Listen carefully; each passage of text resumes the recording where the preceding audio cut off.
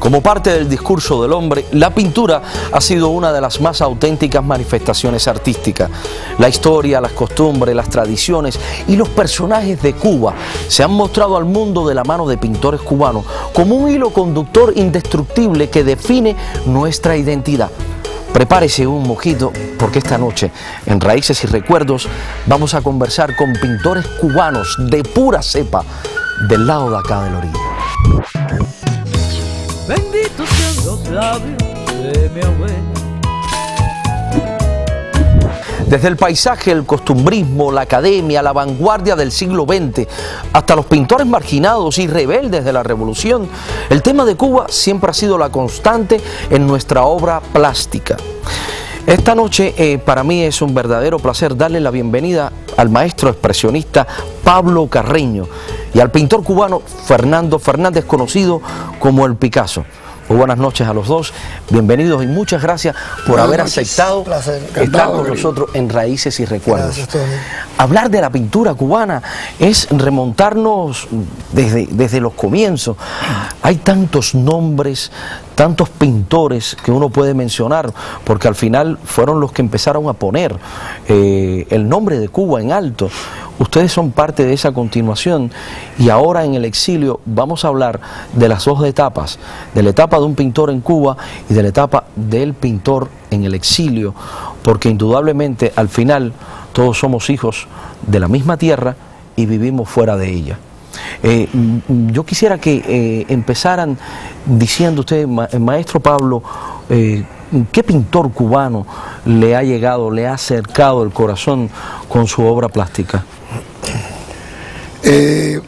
Hay muchos pintores buenos, cubanos y de todo el mundo. Yo realmente no estoy impresionado por, ningún tipo de pintor en sí, pero admiro muchísimo a, a Amalia Peláez, a, a muchos pintores cubanos y a muchos pintores eh, españoles y alemanes. Usted sale de Cuba desde muy temprana edad. Eh, yo me voy en el año 1963. ¿Qué edad tenía usted? Eh, no me recuerdo, pero era bastante, era un muchacho. A usted le pasa igual que a mí, que cuando no me quiero acordar de algo que me ha pasado en la vida, digo, "Mm, fue hace muchos años. Sí, me puede llamar agente 007. Agente 007. Sí. ¿Y eso por qué, maestro? No sé, no, no- me imagino que no me puedo poner así. Usted llega directamente. Porque no me diga usted, ni maestro, pero está bien.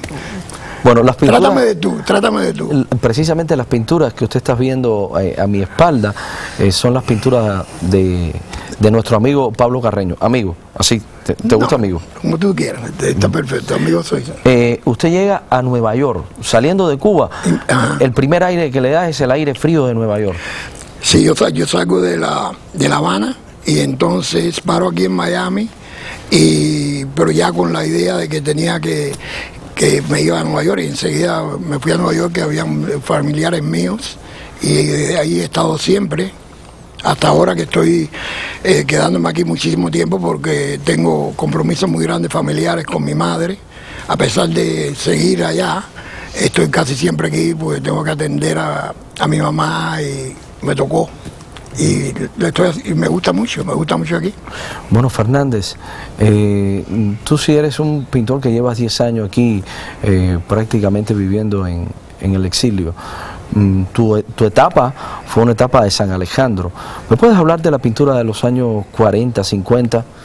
¿Cuáles fueron los pintores que, que te impresionaron, que te llegaron a ti o que influenciaron tu obra pictórica? Tony, eh, yo cuando estudié mi influencia sale muy latente, era casi casi como que perceptible el cubismo. Yo recuerdo que siendo niño aún hacía apuntes y hacía rectas, círculos, siempre tenía algo, no hacía un peloterito normal como otros niños, que siempre hacía algo como que muy muy fuera de la pintura normal. Entonces cuando empiezo a tener ya más conocimiento, empiezo a crecer, eh, hay un pintor que me marcó mucho, Cundo Bermúdez. Cundo Bermúdez. Cundo Bermúdez. Hacía unos guajiros impresionantes y yo veía el bracito, Pero tienes influencia de Wilfredo Olan también. Wilfredo Lan, Picasso, por supuesto. En el exilio me ha dado la oportunidad de estudiarlo muy a, a cabalidad. y realmente es algo impresionante la obra de ese hombre. Es muy difícil de los pintores estos que estamos hablando, ya sean de los 40, los 50, que se llamaba la vanguardia, Amelia Peláez, Mariano, Portocarrero, eran personas que se les fueron de las manos a las escuelas porque crearon prácticamente su estilo personal. Y estamos hablando de, de que la pintura no tiene parámetros. Mira, son tantos y tantos nombres y, y yo quiero hablar sobre todo de, de algo que a mí me marcó de joven caminando por la rampa, esos em, cuadros de pintores que Sí, sí. en la década mm, de los 50, eh, cuando se hace la reconstrucción de la rampa, estaba Cundo Bermúdez, Guido Lianz, eh, Sado Darié, Portacarrero, Mariano Rodríguez, Amelia Peláez, Wilfredo Lan. eh, el arte estaba en todas partes en Cuba, como lo está hoy, porque hoy eh, hay grandes pintores cubanos que de hecho eh, han salido del, enclaustramiento que tiene la isla y, y han triunfado. Ha habido un intercambio bastante grande de pintura fresca cubana, eh, pero no es lo mismo. Yo siento que no es lo mismo. Eh, a lo mejor será que yo me estoy poniendo viejo. Te estás poniendo viejo. ¿Eh? Sí, sí, porque ha, No, no, no. ha- ha- ha- ha habido un, un cambio. ¿Tú sientes que ha habido un cambio en la pintura cubana que se ha desarrollado o que se ha mantenido encerrada? Eh, yo realmente no estoy muy envuelto en la pintura en sí cubana. Yo me desarrollo totalmente eh, solo. Yo nunca estudié de ningún colegio. Usted es autodidacta. Ah, Yo soy autodidacta, nunca he tenido maestro. Así que ¿Cómo te diste cuenta que eras un pintor? eh, desde niño, yo pinto desde niño. Desde que tenía dos o tres años, eh, el instinto mío fue, eh, los juguetes míos eran coger papeles y pintar. Ese era mi, lo que yo tenía de niño. Yo me desarrollé yo solo. ¿Tienes En una, el- una influencia en la pintura también de musical? Porque Bueno, me gusta mucho el jazz, me gusta mucho pintar a Charlie Parker, a cierta gente, pero lo que es en sí, los pintores que a mí me gustan, eh, sí, son los pintores expresionistas, los, eh, algún pintor alemán, me gusta mucho Van Gogh, me gusta mucho Picasso, me gusta mucho la- los maestros de, tú sabes, que han desarrollado un arte espectacular. Y, y en esa época en que empiezas a desarrollarte tú como pintor, una gente joven en Nueva York, con el estudio 54 que estaba en aquel momento en boga, Oh, en la época, ¿fuiste al estudio Oh, 54? muchas veces, muchas ¿Ahí viste veces. a- a y, conocí a Andy Warhol y estuve eh, con mucha gente. Yo empiezo a pintar ya a- al principio. Yo me, yo me, yo, yo me, me hago director de arte de publicidad en Nueva York con un señor que se llama Luis Díaz Albertini, que fue el que abrió la primera agencia de publicidad en español. Y estuve trabajando con independientemente como director de arte unos años y ya después me, me encaminé totalmente con el arte puro y libre y me desarrollé o sea, completamente solo entre, ¿Nunca se te no, ocurrió pintar a, a Tony Curtis sin zapato en, en la discoteca de 54? bueno lo vi varias veces que uno- muchas cosas eh, increíbles sí. Pero bueno las, cosas, las cosas de discotecas y todo eh, son cosas mm, banales no que, que claro está que yo estuve ahí y todo pero lo que más de verdad me interesa es eh, eh, tú sabes el arte que, que los niños que que les guste la pintura que pinten Hay una marca registrada eh, eh, tuya en los cuadros, y perdona que te tutee, pero tú me diste No, ese- claro, eh, sí. esa posibilidad. Claro, chico. Hay una marca que es eh, esos hombres que fuman tabaco y ese rojo intenso. soy yo yo soy rojo Sí, pero un- un rojo no tiene nada que ver con un término político. No, no, no, no, el color rojo que el color rojo tiene mucha pasión. Entonces el, el rojo aparece en- siempre, aunque use azules, siempre va a aparecer el rojo. Son cosas que yo lo hago in- sin darme cuenta, o sea, me, me nace naturalmente. El rojo es un color muy, muy pegado a mí. Pero has pintado a tu señora madre eh, fumando tabaco, A mi mamá niño. fumando tabaco, a mi tatarabuela. Eh, yo to- lo mezclo, esa es la imagen mía de Cuba. Eso es lo que yo capté cuando yo estaba en Nueva York, eh, de cubano, es la imagen del, del eh, que yo hago, que soy yo con el trabajo. Entonces hay cierta añoranza también en tu pintura con el tema Cuba. Hombre, yo extraño a Cuba desde, desde que salí. ¿Has regresado a Cuba? Nunca, ni regresaré mientras esté ese diablo ahí. Sí, pero le, le hiciste un cuadro que le llamaste Castrácula. El último vampiro del comunismo. Como no, yo, eh, yo hice una pintura una vez en la, en la en una, en una parada que hubo grandísima, de la parada más grande que ha habido en Nueva York. Entonces yo pinté a, a, a Castrácula, esta, este- esta pintura enorme que la puse en la calle 8 y salí en CNN y en todos los lugares. Maestro, ¿y es, es bueno o malo ser comunista? Ser comunista es terrible, ¿no? Me parece. Tú puedes tener rojo y no ser comunista, mira a mí. Bueno, pero es que el, el rojo, usted lo ha dicho, es pasión, Sí. es calor, y, y usted es un hombre que viene de tierras cálidas. Sí, de una, de una isla increíble a 90 millas de este gran país. Hay, hay un cuadro que marca eh, un punto importante en su carrera pictórica, en su obra artística, y este cuadro a todos los cubanos, tanto fuera y dentro de la isla, lo ha tocado. Lo ha tocado porque es el cuadro de Elian. Es este cuadro que tenemos aquí atrás, eh, con delfines, es la historia de Elian, que después de esta pausa vamos a hablar de ese tema. Al regresar, continuamos con dos pintores y un común denominador, ser cubano.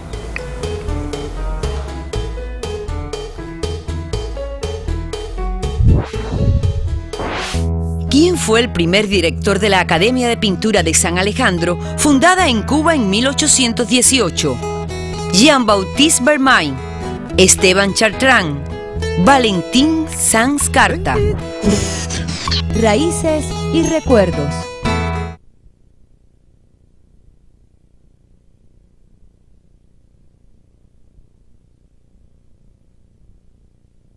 Raíces y recuerdos. La respuesta correcta es Jean-Baptiste Bermain. Ni 90 millas de distancia han sido suficientes para que los pintores cubanos dejen de cargar en sus paletas la luminosidad de un mediodía, la mulata y la palma real. Carreño, eh, esa pintura tuya que, que vemos aquí atrás, donde está la patrona, donde está el niño Elian González y los delfines, ¿qué te inspiró a ti?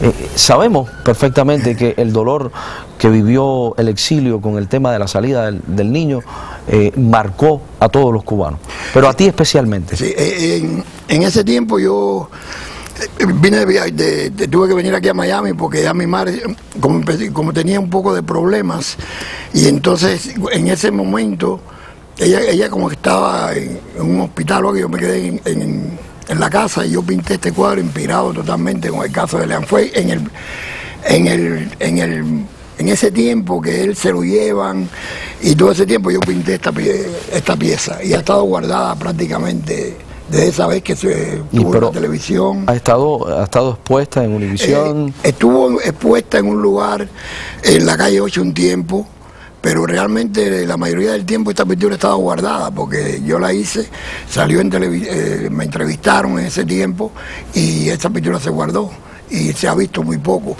Pero es una, una, es una pintura inspirada por, por lo que le pasó a Elian. Y Como tú puedes ver, lo que es, es como una pequeña, es como una estampa de la, de la caridad del cobre, como ampliada, y en lugar de, muy simple, ¿no?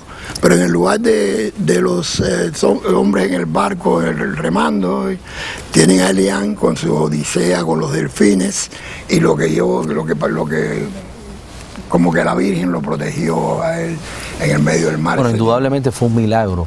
Fue un milagro que eh, eso lo viviste tú en Cuba, Fernando. El tema de Elian. ¿Estabas en Cuba en aquel momento? 10 años, sí. Estabas en Sí, Cuba. como Ah, Pero tú eres, un, tú eres un pintor graduado de San Alejandro, eres un pintor de escuela. En este sentido, ¿cómo eran aquellos años tuyos eh, inmerso en, pintar en la, en la plaza de la catedral para ganarte algunos dólares y, y poder defender tu arte? Sí, era muy difícil, era muy... No, los materiales, por ejemplo, no salían mm, como que muy fácil. Había que tratar de vender un cuadro a escaso precio para poder entonces comprar algún material. ¿En cuánto se cotizaba un- una lámina en aquel momento? Yo vendí una lámina en cartulina, vamos a poner 16 por 20, algo así, qué sé yo, en aguada, en wash, un poquito de óleo, 5 dólares, 7 dólares, una lámina en cartulina. Un tubo de óleo, yo iba ahí a, creo que era en O'Reilly, si mal no recuerdo, costaba 4 dólares, 3 dólares. Entonces, o sea, si vendías una lámina no podías comprar ni un tubo de óleo. Mm. O sea, había que estar inventando en algunos lugares. E- e- Era un poco primitivo en aquella época. Primitivo, se prácticamente. En Si no tenías un amigo no, que te a- ayudara, No, algún extranjero, amigo. que se enamorara de tu arte. Exacto, y entonces hacía como un romance con esa persona y él te cogía precio. Fácilmente tuve amigos italianos que venían, españoles, ya me buscaban, entonces bueno, me yo le pedía solamente material. Yo le pedía material, yo nunca pedí nada a cambio, solamente algún pincel, Sí, algunas e- e- temperas. era, era, un, era un estilo eh, eh, jinetero artístico. Exacto, había que, de alguna forma tú tenías que tener material. ¿Sabes lo que es jinetero? duro, ¿no? ¿Sabes lo que es jinetero? El- el- La Sí. gente que lucha en la Sí, calle. Es que la palabra de orden en Cuba es luchar. Creo que esa es la palabra latente. Mm, ya. 10 años hace que no voy, eh, pero creo que está igual. Sales, sales tú por República Dominicana, Sí. llegas aquí eh, me- y, y aquí, cuando llegas aquí a Miami, Aquí cuando llego a Miami... ¿cambiaste eh, el pincel? muchas veces, Tony. Sí. Muchas veces he cambiado el pincel. Prácticamente el pincel he tenido esporádicamente. Eh, la abuela de mi hijo, a la cual admiro mucho y adoro porque tiene mucha firmeza, me llevó a casa de un amigo que me había contactado en Cuba, que vive aquí, eh, Naranjo, un gran pintor, y le llevé mis cositas. Y te echó la mano. Me echó la mano y ese señor todavía le agradezco que tengo los pinceles que él me dio, me dio pasteles, me dio algunos tubos de óleo. Yo, Sí, Esta es la versión de, de los pintores del exilio que, sí, que- porque que realmente yo no sabía llegan. lo que era verdaderamente tener materiales. Yo no nunca, por ejemplo, la abuela de mi hijo me mandaba algunos pincelitos a como podía, porque no tiene conocimiento de lo que es un pincel. Bueno, pero ya hoy compras pinceles de 25 dólares. No, hoy sí, hoy por hoy 28, 28. 28 dólares, 25 dólares. Pero para eso tuviste que hacer concesiones y, y no dedicarte 100% al arte, No. sino eh, eh, pintor de brocha gorda. Pintor de brocha gorda, carwash. ¿Carwash? yeah. Pero no, no aquí. no. Aquí. Oh. Aquí yo tuve que lavar carro, limpiar alfombra en Coral Gable, un banco, a las 5 de la tarde. En un banco, tanto dinero en el banco y tú no tenías para comprar un Y pincel. ahí entonces eh, marca la diferencia. Siempre estaba latente en mí, me ponía a limpiar y había unos cuadros abstractos muy lindos. Y yo decía, esos materiales, ¿por qué brillan? ¿Por qué están tan nítidos? Y entonces en algunas ocasiones me ponía a hablar con algún representante que se quedaban tarde, horas en la noche, y me decían, pero ¿este es tu trabajo fijo? No, me veían las manos, manos bien menuditas, y yo apenas con mi vacuum, Mm, sí. eh, un piso completo, la alfombra. Pero fíjate, había eh, eh, est- este tipo, ustedes pertenecen a una generación que les costó mucho trabajo en Cuba poder romper el hielo, eh, de ahí surge una Florafón, un Favelo, eh, que, que ya ahora obviamente tienen un nombre y las condiciones actuales son distintas. Pero llegas aquí, pasas trabajo para poderte desarrollar. Pero ahora tus obras muestran un, un cubismo, eh, tienen rumba. Muy bueno, muy bueno el trabajo, la obra de él. Tienen rumba, tienen música. Este- esta pintura que tienes aquí detrás, eh, que tiene un, es un guitarrón, ¿no? Una guitarra. una guitarra, eso de alguien que hizo algo y yo lo mezclé. Fue una de mis primeras obras aquí. Tuve seis meses para hacer ese cuadro. Sí. Seis meses. Porque no tenía el tiempo necesario. Tuve que coger y empezar a tener ideas. Estaba como muy desfasado de lo que era el arte. Estaba muy, muy inmerso en, en tener algo de, de trabajo, ¿no? Bueno, aquí hay dos maneras de hacer. Tú, tú has tenido muchísima suerte. Yo nunca he trabajado. Tú, Y es una cosa increíble. Yo nunca he trabajado, yo, yo nunca he tenido un trabajo de nada. Wow. Yo no sé si es malo o bueno, pero No, para mí ahora me quedé no pensando, trabajar, Dios mío, pero será malo o bueno, es muy tarde ya, estoy muy viejo para... Pero yo nunca he tenido nada que me hayan Eh, aún- no, nada, nunca. No tiene un horario. Pero no le puedo decir a la gente, oye, así es como es, porque yo no sé si es bueno o malo. Pero para mí yo nunca he tenido ese... Yo no he dejado de tener Bueno, horario. Es una cosa extraña. si Tú has tenido horario, él no ha tenido no horario, los dos pintan. eh. Estamos aquí en el exilio. Exacto. Pero hay un, hay- hay- Somos hay un- te- yo, no, yo creo que no soy como nadie, porque y yo no sé por qué. Yo, yo, yo si no vendo una pintura no como. Y entonces a veces no vendo nada. Y yo, Dios mío, pero yo no sé lo que es hacer un negocio o, digamos, trabajar en algo para que Pero a tú, a ti te han comprado muchos artistas. me- me compran. Inclusive quiero, quiero eh, decir acá que uno de los cuadros del, del, del amigo, perdón, El famoso pintor. de, de Pablo Carreño, de Pablo Carreño eh, eh, eh, es un cuadro que le pintó a la madre, a la señora madre de, de nuestro presidente, el señor Raúl Alarcón Mi gran amigo Raulito. Mm. Raúl, sí, su padre, que era muy gran amigo mío. Entonces en Nueva York te compra mucha gente. En Nueva York me compran ah, pintura. Alguien aparece siempre. Si no tengo una exhibición ahora, ¿Qué artista le, ha, le has vendido pintura? Oh, ah, bueno, me- me- muchísima gente, Donald Trump, ah, eh, Bueno, eso es una gran te quiero decir, yo he celebridad. pintado mucha gente en los Yankees, he hecho muchas cosas, ¿sabes? Pero no, el arte de- no es una carrera fácil, pero sí yo he vivido de, de la, de la pintura, tú sabes, pero hay que, es un sacrificio, ¿eh? hay que sufrir. O- Ok, pero um, Van Gogh sufrió muchísimo, eh, Gauguin también sufrió muchísimo. ¿Eso te inspiró a ti para recibir esta- estas nuevas influencias de la vida para poder pintar lo que tú estás pintando ahora? Sí, Tony. Eso te satisface mucho más que si aún yo hubiera tenido un poquito más de espacio en mi vida, yo creo que no hubiera sabido el valor que tiene el arte, porque nunca lo he abandonado. El arte es lo que te hace vivir. Sí, es algo como que es un sostén, es algo que yo tengo que no me deja dejar de hacerlo. Claro. ¿ok?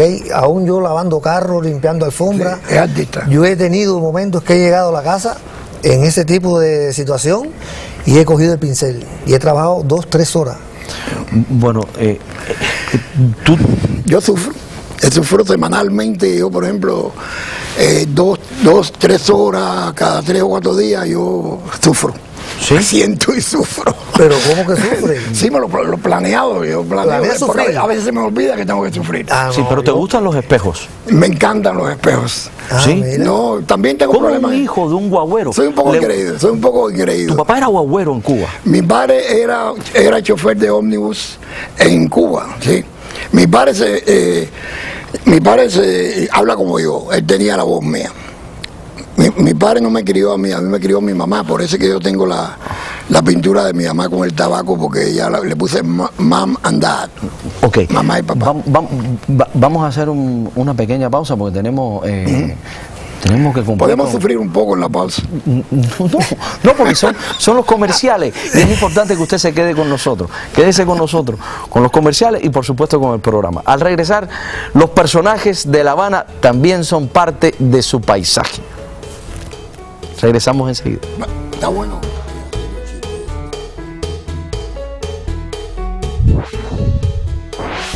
¿En qué año se celebró el primer Salón de Arte Moderno en Cuba? ¿En 1950? ¿En 1937? ¿O en 1980? Raíces y recuerdos.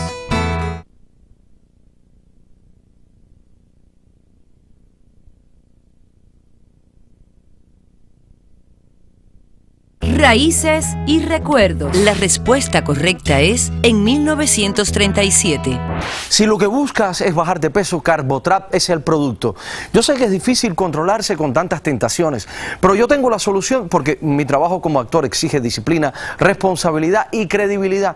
Y es por esta razón que hoy vengo a hablarte de Carbotrap, el producto que se está quedando con Miami y Puerto Rico. Si lo que buscas es bajar de peso y controlar la ansiedad de comer a cada instante, Carbotrap es exclusivamente para ti. Y lo mejor de todo es que no tiene efecto secundario, pues es 100% natural. Para que tengas una idea, el producto bloquea los hidratos, acelera el metabolismo, además activa las enzimas quemadoras de grasa a tal extremo que te permite perder de 8 a 16 libras mensuales. Yo sé que tú eres un triunfador y que lo puedes lograr, pero esto no es todo, ya que también te regula el colesterol, los triglicéridos y la diabetes tipo 2, entre otras condiciones de salud. Llama ahora mismo al teléfono que aparece en pantalla, 1-800-758-1559, para que luzcas nueva figura, para que te empieces a querer a ti mismo. Marca el teléfono que está en pantalla, 1-800-758-1559.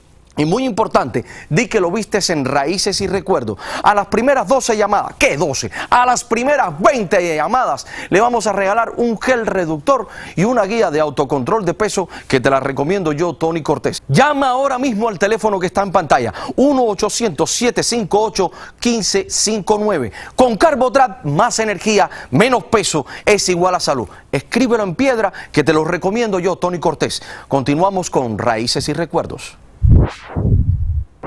Estamos de vuelta y mi, mi papá era guagüero y habla igual que yo. Así Ya, me dijiste. Así mismo es. Él tiene mi voz. ¿Y no lo conociste cuando te Eh, fuiste de bueno, Cuba? yo cuando voy a ver a mi, a mi, a mi padre, eh, yo, era, eh, yo era muy pequeño y entonces, no, eh, tú sabes, eh, eh, tenía que tener un permiso para salir y él- entonces prácticamente lo fui a ver y, y hubo un poco de emoción y cosas, pero lo principal ¿Lloraste? es que... ¿eh? Tú no lloras. Yo he llorado. Yo a veces lloro cuando me comprometo a sufrir dos o tres horas, lloro un poco. No, yo no lloro mucho. Yo no soy muy llorón, que digamos. ¿Y, y tú, Fernando? Cierta nostalgia hace que el hombre llore. Sí. El arte sensibiliza mucho el alma, ¿Estás, A mí me est- pone- ¿Estás orgulloso de ser un pintor cubano? plenamente. Sí. A mí me hubiera gustado más ser pintor francés, Sí. pero me conformo con Cuba porque estaba cerca de aquí, de este, de este país.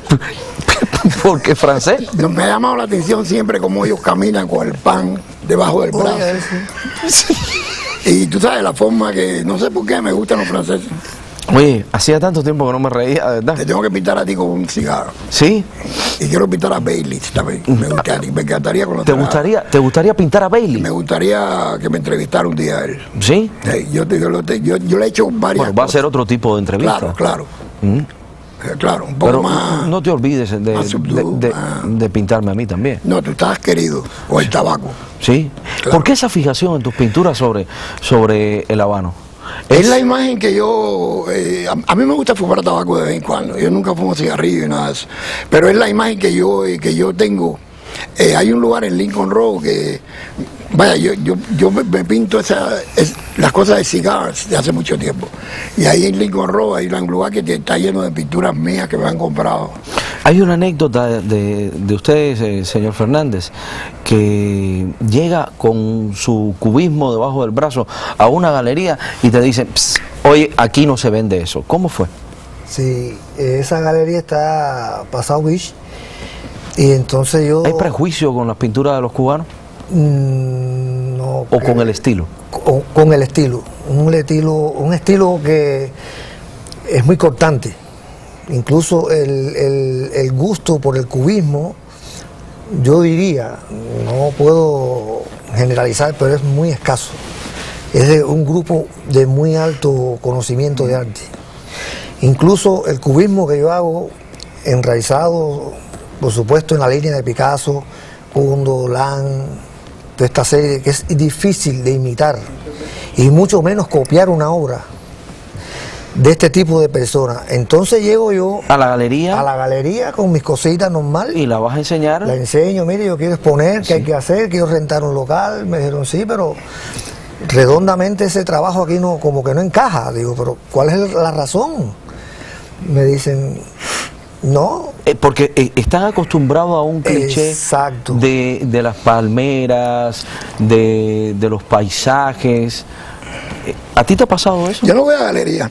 Yo, yo, yo he, exhibido muchas galerías, pero yo, te- yo no, yo, yo no hago diferentes cosas. A mí me compran pintura. A veces yo no puedo eh, eh, desarrollar yo solo, estoy un poco solo, ¿no? Porque no tengo tanta familia ni nada. Entonces, yo prefiero estar guardado que estar eh, poniendo pintura en ciertos eres lugares. ermitaño entonces. No, es que yo respeto mucho mi arte y yo he llegado a un nivel en el cual yo tengo que tener cierto, sabes, saber dónde lo pongo y cómo lo hago. Pero Pablo, casi todos eh, los artistas no tienen eh, esa, mm, llamémosle, eh, manera de suerte de poder vender tanto y de poder poner un precio eh, que, que compran personas que, que el resto de los mortales no podemos comprar. No, pero es que hay, la situación del país actualmente es muy fuerte. Lo primero que cortan son las cosas de lujo y, la, y el arte que es muy especial. Entonces, estos son momentos que los verdaderos artistas se sabe quiénes son porque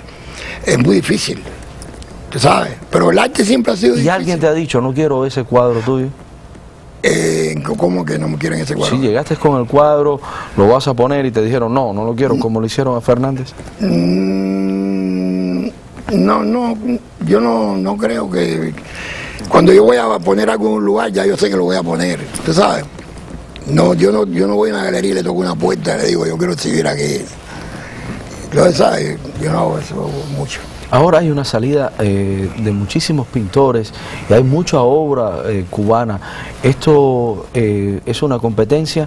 ¿Te preocupa la competencia No. de los pintores que vienen de Cuba? No, Tony, No, al contrario. Eso marca bien al artista de lo que está haciendo, de tu perfil en esa línea y trabajarla mucho más. Si alguien trabaja el paisaje, ese paisaje lo van a querer hacer mucho mejor porque hay muchas más personas queriendo hacer el paisaje. Entonces yo creo que eso es un problema. Cada artista tiene su sello. Cada artista tiene su sello, yo tengo el mío, el maestro tiene Claro. el de él. Es impresionante sus obras, son muy ricas. Yo las veo, son muy ricas. Yo tengo mi estilo. Claro. Entonces, cada cual que va a haber diferente, un grupo de artistas, vamos a hacer 10 cubanos, Claro. por ejemplo, que somos nosotros. Y vienen con paisaje, cubismo, abstracto, surrealismo, impresionismo. Cada cual va a tener que marcar bien su línea. Va a tener que marcarla bien. Y eso es muy bonito. Porque así me da a mí que si el color, el otro va a hacerlo así. Eh, eh, Eso es muy amplio, Tony. Es muy amplio, es muy... La competencia es sana. En el arte sí. Pero cuando vas a un lugar y, y tú ves que, por ejemplo, llegas a, un, a una galería y tú ves que la, la persona que está detrás del, del buró no sabe mucho de arte, pero sabe mucho de números. Ya. Y va a decir, ese cubismo aquí no entra, porque lo que quieren es a Marilyn Monroe, un Andiguaro, cosas que sean rápido de salir. Ya. ¿Me explico? Sí. Entonces, yo lucho mucho porque ya vuelvo a repetir, Tony, mi, mi trabajo. Ya le has puesto un precio a tu trabajo y no sales de ese precio. Exacto. Yo le pongo un precio donde yo creo que mi trabajo lo merita. Y esa es la gran diferencia porque ese precio que te pagan por tu obra es para ti. En Cuba había que pagarle al Estado por lo que tú vendías. Exactamente. Y a un precio muy mínimo. Eso tampoco vendiendo- usted lo vivió, Pablo. no, yo me fui rápido de ahí. ¿Tuviste visión? Yo arranqué, en cuanto yo vi a esa gente bajar de las montañas, todo sucio, yo dije, esto aquí te va a poner un poco... Esto aquí está en candela. cuando- Si me lo permite, no se vayan porque en un momentico estamos con ustedes y más, muchísimo más de estos dos hombres de la pintura cubana fuera, por supuesto, de nuestra patria. En el exilio.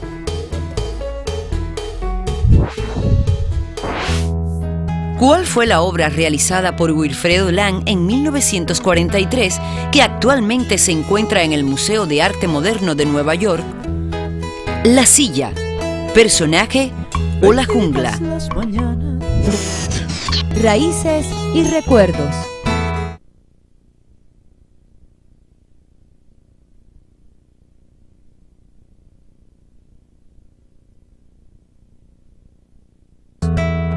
Tony Cortés se viste en Marseille. Raíces y recuerdos. La respuesta correcta es la jungla. Ya usted tiene su mojito o su cafecito de noche, está sentado compartiendo con nosotros sobre todo las anécdotas de estos dos hombres. Por ejemplo, Pablo eh, querían que cortara caña y él, No. y él dijo, no, me voy. Yo no corto caña, que la corta el viento. Yo, me- a mí, no querían que yo cortara caña. Yo en ese tiempo ya estaba haciendo, eh, estaba haciendo, eh, era muy, muy, muchacho, pero ya yo hacía ciertas cosas para, eh, eh, cosas de, de la revolucionaria y cosas de estas, un poquito, pero esta era muy joven. Pero querían que yo cuidara el, trabajo con una escopeta y con un rifle. ¿Tú ¿Sabes? Y dije, ¿pero qué es esto? Yo nunca he tirado, ni me interesa nada. Y yo me fui, yo dije, no hago esto. Y que yo fuera a cortar la ca- eh, caña de azúcar. O sea, una, una, una, una- planta que tiene unas cosas que tú la tocas no y te araña todo. Y, y, y Pablo, Pablo, Pablo, Pablo, yo quiero preguntarte algo. Eh, no, Pablo, tú te fuiste con 20 años, ¿no? Chico, yo no me acuerdo hace tanto tiempo. Pablo, A la única gente que le digo yo le da mía es a los médicos y me lo tienen que sacar. ¿qué? Tienen que buscarme la- en las identificaciones. A los médicos, a la única gente que yo le digo la edad que yo tengo. Bueno, pero está bien, está bien. Me Eh, dice, pero muchacho, ¿qué te pasa? Entonces me dice, pero tú no lo pareces. Bueno, Digo, bueno, pero lo pareceré. Eh, eh, en tus pinturas eh, tienes un, grado erótico, un grado sensual. Pintas, mm, ¿Has pintado muchos desnudos? Eh, yo pinto, a mí me gusta mucho la- la- lo que es la mujer y la he pintado muchísimo y, he hecho muchas cosas que no, no, no, me gusta el desnudo, sí. Me gusta hacer, me ha gustado hacer cosas con forma y cosas de colecciones de mujeres y hay muchas pintar a la mujer y pintarme a mí. Sí. Sí. sí. Y, y Fernández, eh, en el caso tuyo, con la brillantez de los colores, ¿cómo manejas el negro? Eso es difícil, manejar el negro.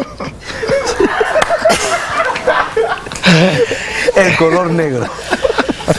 el color negro lo yo de último, Tony. Es el último color que yo Siempre uso se quedan para- final. Sí, ¿Tienes? ¿El, el negro? mi- No, es cubano. no, es así. El negro siempre lo uso de final. Esto es pintoresco, ¿no? esto es pintoresco, Esto, claro. mira, esto es parte de la esencia del cubano. Claro. esto es parte de la esencia. el porque no se cubano no puede. dejar de ser como es. Sin dinero y triste. Sin dinero y triste. No se puede. si Pero te obras. quedado, si te hubieras quedado un poquito más en Cuba, hubieras sufrido un poco Eh, más. yo creo que hubiera sido, fue una cobardía mía el haberme ido tan pronto. Yo creo que yo debía haberme Pero quedado ¿por y qué haber sufrir? aprendido a, a sufrir. Carreño, a- a ¿por qué manejar un sufrir? arma y a cortar No. un poco de caña y todo. Pero, pero ¿para qué vas a picar caña si eso es difícil? Yo sé, Bueno, pero es que también las historias, todas Yo las- sí, ahora yo me pongo a pensar, me debe haber quedado por lo menos tres o épocas cuatro semanas. diferentes, claro.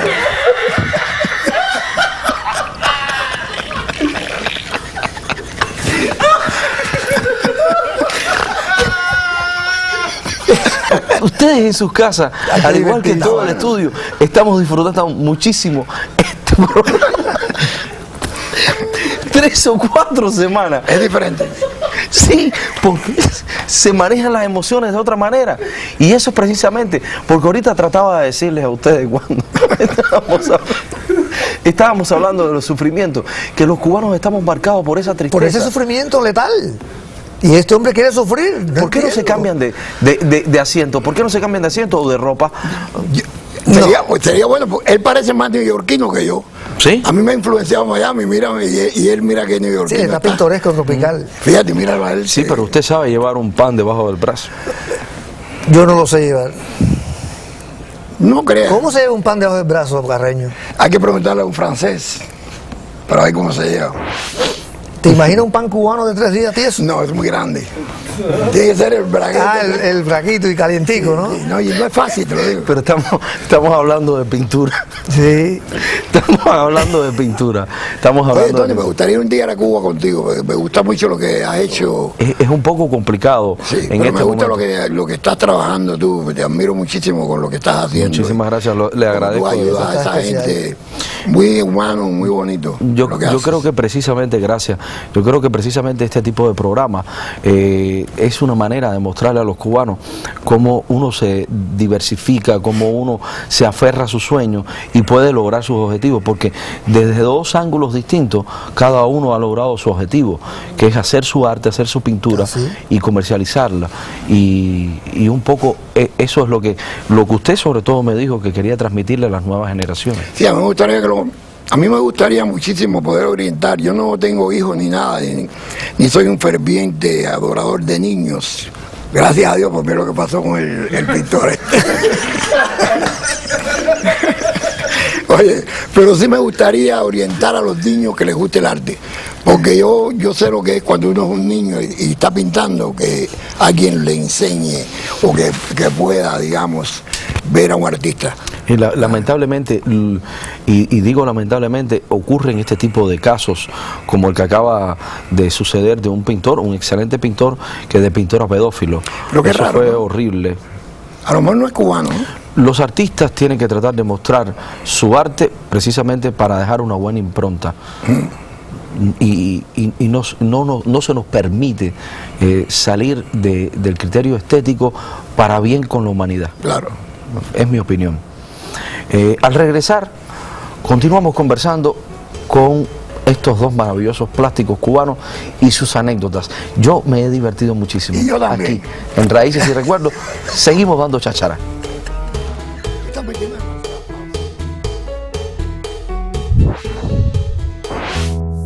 ¿Quién es el pintor más representativo de la corriente hiperrealista en Cuba? ¿Roberto Fabelo, Tomás Sánchez o Manuel Mendive? Raíces y recuerdos.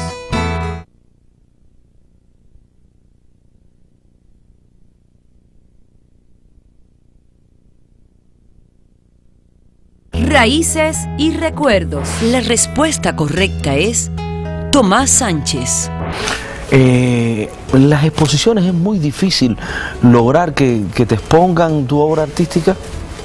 Sí, Sí, es un lío. sí, es un problema, no sé cuál es la razón, si los curadores. Ya te vuelvo ¿Quién a. decide eso? ¿Un curador? Es un curador, se reúne un equipo talentoso, que yo imagino que cuando hacen eso es porque ya tienen una, una base muy fuerte. A mí me invitaron a una exposición en mm, Art Street Design, algo de eso, en Wingo. Wingwood. Al final mandé todo mi profile, mandé mis obras en fotos, me dijeron que no, que habían decidido que mis pinturas no, no encajaban ahí, volvemos a lo mismo. En el estilo En- de, esa pero si exposición. yo hago una, una, una exposición mixta, él tiene lo de él, yo tengo lo mío, no entiendo la razón. Bueno, de hecho el estudio está decorado de esa manera. Exactamente, perfecto. Hay quien se deleita con la, con la mulata, con la fruta, quien se deleita con los colores.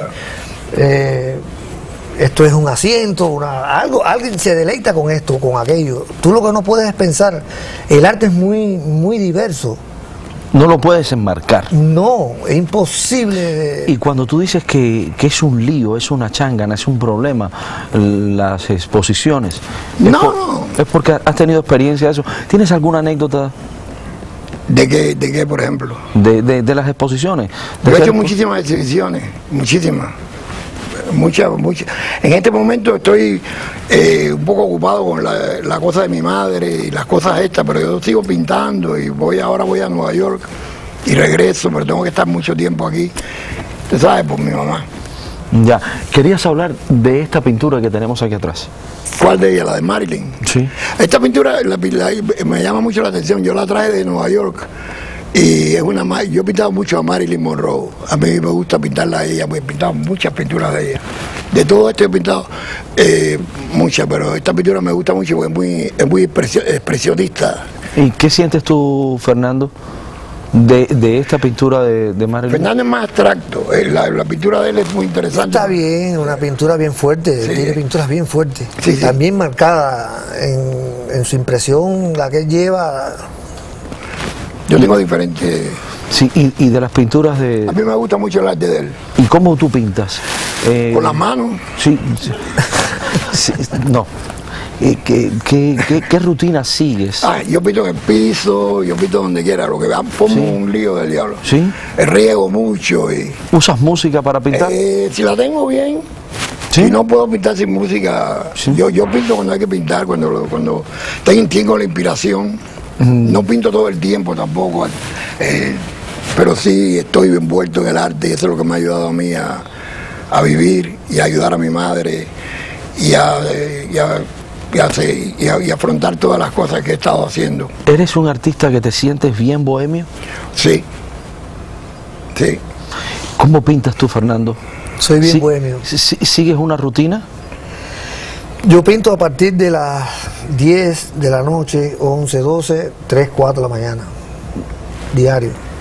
Sí, pregunto esto porque Moreira, un gran amigo pintor cubano, llevaba siempre una rutina para pintar sus pinturas eróticas. Yo tengo una rutina, yo a partir de la noche, ¿Usas una ropa? sí, po- me pongo un short donde ya tengo todo el embarro. U- ¿Usted lo hace desnudo o con ropa? No, yo no puedo desnudarme porque hay muchas enfermeras en la casa que van a ver a mi mamá. Y eso. peligro, ¿no?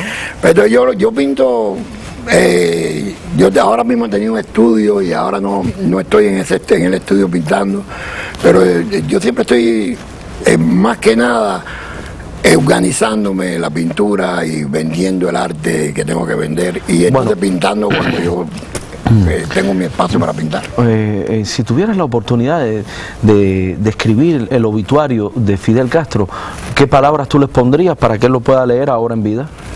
De Fidel Castro, Sí. que es el único comunista del mundo y es cubano. ¿Y, y tú, Fernando? que ha hecho una masacre. que, ajá, que ha separado el pueblo, que ha separado familia. pero ¿Eso también está en la pintura de los cubanos del exilio? Sí, está, está marcada algunas veces la razón de, de poder expresar su libertad. En Cuba es muy difícil pintar un Fidel entre un alambre de púa en el cuello. Eso nadie lo hace en Cuba. A mí que no me digan. Para mí, Entonces para- llegas aquí y si quieres hacerlo, lo haces. Entonces, de una forma u otra, sí. De una forma u otra, Se marca aquí la libertad la libertad. pincel. Yo quiero agradecerles a los dos, yo me he divertido Pero ya se muchísimo. acabó esto ya. Ya, se acabó. Oye, pero Tony, ven acá. ¿Pero Yo- qué es esto? ¿Tan pronto? Sí, yo creo que pudiéramos hacer, estamos una hora al aire, pudiéramos hacer dos programas. Gracias, maestro. Y sí te lo voy a decir, y gracias, Nada, maestro. querido. Muchísimas gracias. Gracias a ti, querido. Yo estoy feliz y me imagino que usted también. Eh, muchas gracias, muchas gracias. La despedida, después de esta velada con Pablo Carreño y Fernando Fernández, queda demostrado que el contenido es tan importante como la forma, que se vale de, un dibujo, de un gesto y además que nosotros los cubanos podemos hacer esto y mucho más, porque son nuestros sueños que se hacen realidad y se convierten en colores, que lo real se torna maravilloso. Buenas noches, hasta la próxima, que Dios los bendiga. Y yo estoy feliz. ¡Vaya! Como una lombriz. Caballero,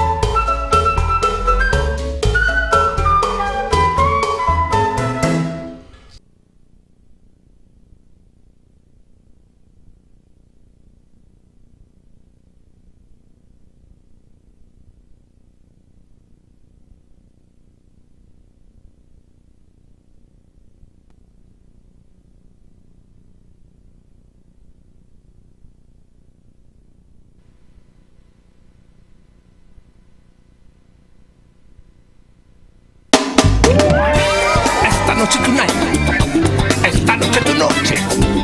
Vamos a disfrutar.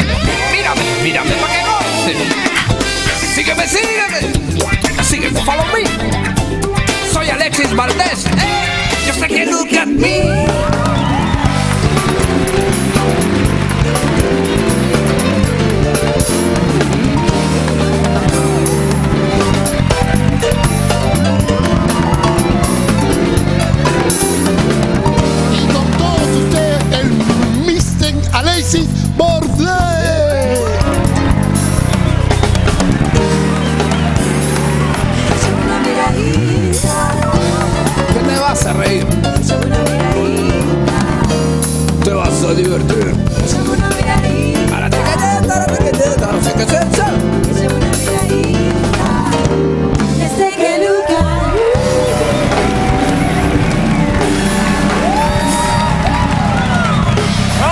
Muchas gracias, muchas gracias. Buenas noches.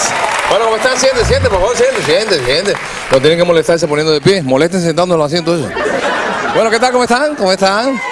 Eh, sube un poquito el sonido aquí que no me oigo. Eh, mucha, un saludo para toda la gente que está en las casas. Eh, hay mucha gente, bueno, hay gente que se queja de estos asientos, gente que exagera. El otro día una señora me dijo, oiga, joven, que esto se lo acepté porque yo oigo y soy joven. Y me dijo, esas sillas son las peores del mundo. Y yo le dije, sí, porque usted nunca ha sentado en la silla eléctrica. Que le pregunten a la gente que ha sentado en la silla. Bueno, mejor que esa gente no le pregunten, los pobres. Ya bastante han pensado. Bueno, ¿cómo están? ¿Cómo están? ¿Lo están pasando bien? ¿Eh? ¿En la casa lo están pasando bien o están con la familia? ¿Eh? Bueno, nosotros aquí un día más haciendo, haciendo esto para no tener que trabajar. Que mucha gente dice que es bueno trabajar. Hay gente dice que es bueno trabajar, que lo peor es no tener nada que hacer. A mí realmente lo que me da mucho placer es tener muchas cosas que hacer y no hacerlo. Eso sí, eso es lo que es la verdadera pereza. Dicen que la pereza es la madre de todos los vicios, pero bueno, madre no hay más que una y a ti te encontré en la calle. A la madre hay que respetarla. Pero los mayores, la gente mayor siempre te aconseja y te dice, yo trabajé como un animal, pero la vida a la larga te compensa. Pero la vagancia te compensa en momento. ¿eh? Eh, eh, dice la gente que la vagancia es un vicio, la vagancia no es un vicio, la vagancia es un hábito. Es el hábito de descansar antes de cansarse. Y no hacer nada es duro, no hacer nada es una cosa difícil porque tú no sabes cuándo has terminado. Hacer-. Esta mañana cuando yo me desperté, esta mañanita me desperté a las 2 de la tarde, me desperté. Y miré el reloj y me dije, wow, no puedes seguir madrugando así que eso descompensa el sistema nervioso. Y dije, dame echar otra cabezadita. No quiero decir hacer el amor, quiero decir otra, ¿eh? de dormir. Y me tiré unos 15 minutos hasta las 4. Y entonces me levanté y puse el despertador para las 6 porque no me gusta fallar a... ¿eh? Se puede, un día puedo no asistir al trabajo, pero aquí sí tengo que venir siempre porque, oye, tú sabes lo que es ser consciente de esa cantidad de gente que nos espera cada noche, si fuera una terapia. A esa gente no le podemos fallar, chicos. La gente que nos sigue en Puerto Rico.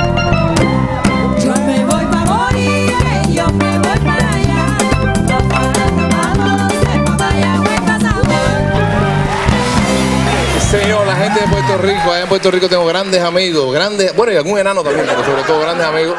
Eh, gente que me quiere mucho. Yo, eh, yo creo incluso, bueno, tengo unos amigos de Puerto Rico que vinieron aquí hoy expresamente a ver el show. Pero de verdad, mucha gente que nos quiere. Yo creo que si toda la gente que me quiere ahí en Puerto Rico me mandara un peso, no tendría que hacer esto. Lo que pasa es que si no hago esto, nadie me mandaría un peso tampoco. Así que saludo también a mis seguidores de República Dominicana.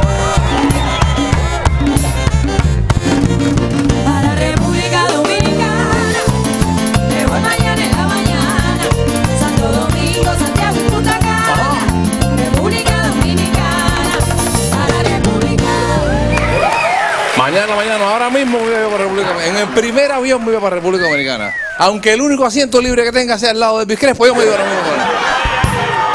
Elvis, es una broma, ¿eh? Una broma. Bueno, y un saludo para la gente de mi tierra, ¿eh? esa gente que no, esa gente de Cuba que no se pierde el programa por nada del mundo, lo copian, lo piratean, lo queman. Y si no, lo ven por la antena más popular de Cuba. Ahí con la antena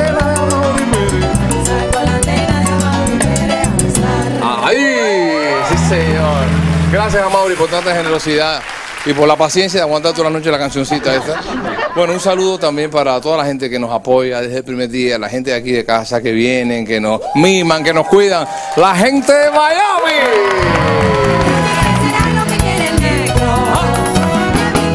Enero lo que quiere que sigan viendo el programa, que sigan teniendo buen gusto y no se pierdan cada noche el mejor programa de la televisión hispana, que aunque no lo crean es este mismo. ¿eh? Al final la gente se las arregla, la gente se las arregla siempre. Yo tengo una prima que se las arregló y le quedaron huevón, parecen, parecen naturales.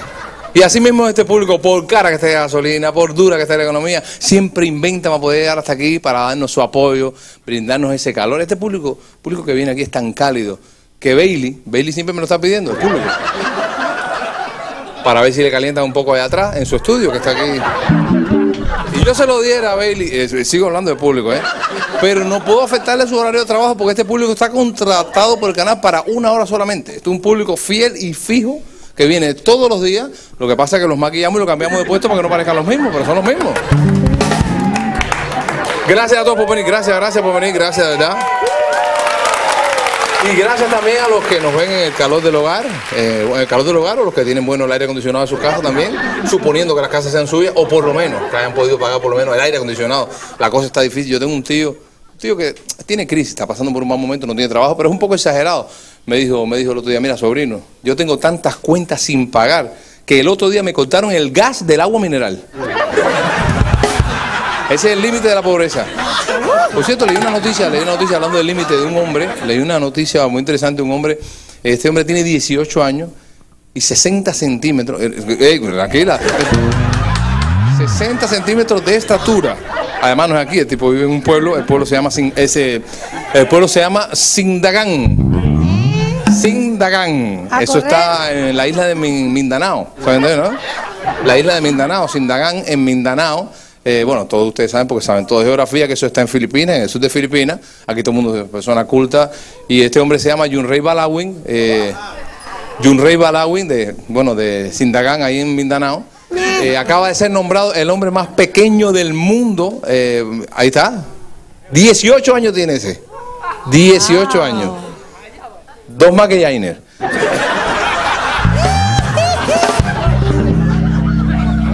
El hombre acaba de ser eh, nombrado el hombre más pequeño del mundo por el famoso libro Guinness de los récords y ha desplazado al, que- al anterior que tenía el récord, que era el nepalí. Bueno, todos ustedes saben, el nepalí, ahí está Kagendra Tapa Magar, señor Kagendra Tapa, que era el anterior. eh, el anterior más chiquito, de 67 centímetros.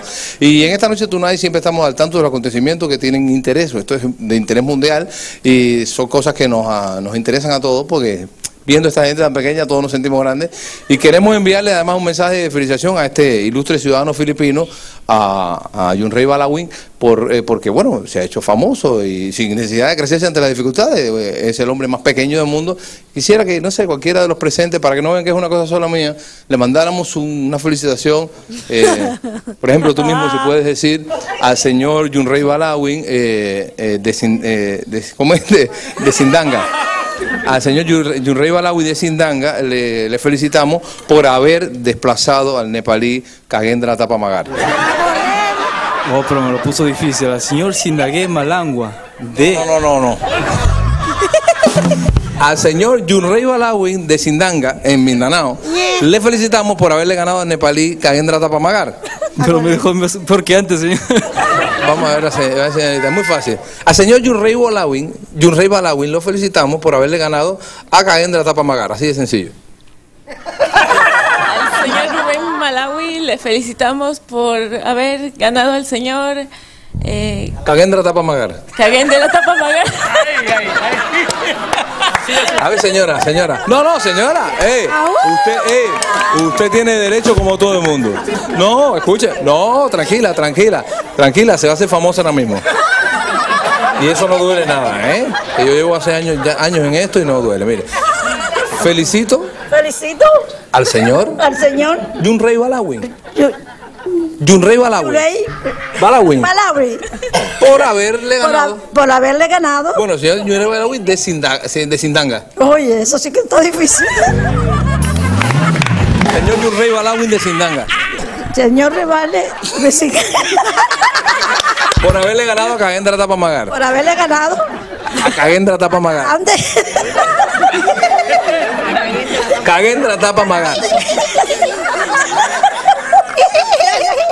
Antes. Kagendra Tapamagar. Kagendra Tapamagar. Cayéndole atrás.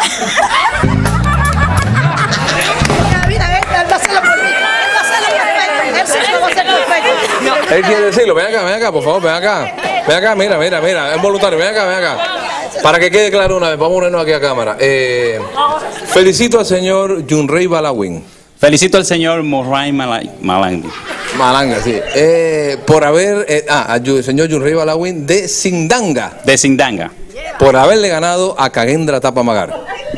Por haberle ganado a Cagenda la tapa a cagar.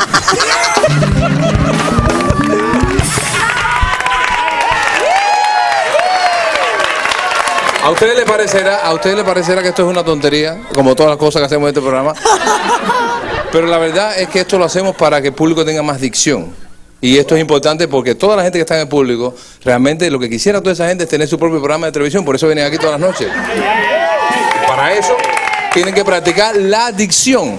¿eh? El público viene aquí porque no tiene programa. Si tuvieran programa no vinieran aquí. Usted nunca ha visto en el público a Don Francisco ni a Bailey que está aquí al lado. Vienen porque quieren celebridad. Así que hay que practicar la dicción. Y me estaba acordando ahora de cuando le hicimos, ¿te acuerdas aquella canción a aquellos jóvenes eh, africanos, Steven Mojense, Tibonge Chimbalanga? que fueron condenados por homosexualidad por el juez Yaguagua Usigua. ¿Te acuerdas de aquello que fue muy célebre cuando Steven Mongenza y Tibonge Chimbalanga? ¿Te acuerdas? Pues di, di, me alegro tanto que fueron liberados Steven Mongenza y Tibonge Chimbalanga. Me alegro tanto que haya sido liberado Steven Mojensi de Zimbalangua. Sí, eh, fueron liberados porque el juez Yaguagua Usigua, ¿te acuerdas? El juez eh, de allá de Malawi, que fue cuando el presidente de Sudáfrica, Kagalema Motlante, intervino a favor de esos jóvenes. ¿Te acuerdas, no? Di, di, quiero agradecer también a Kagalema Motlante. También quiero agradecer a Cagalema Motlán. ¿Cómo decía esa canción? ¿Cómo decía? ¿Cómo decía? Suena, suena, suena.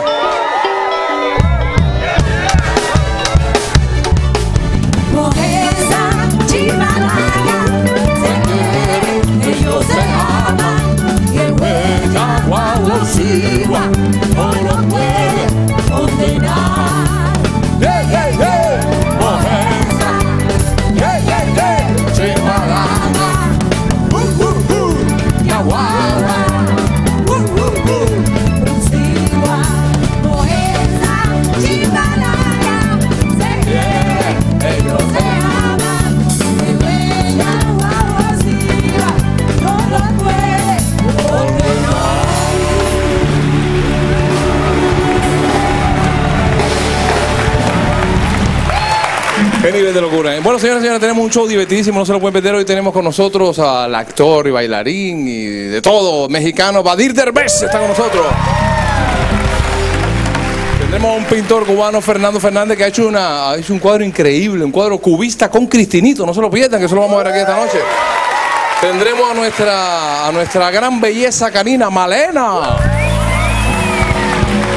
Como es jueves, tendremos al Pible. Ahora mismo lo dejamos con un segmento instructivo, porque este programa también pretende instruir. ¿eh? Esto se llama Inmundo Animal.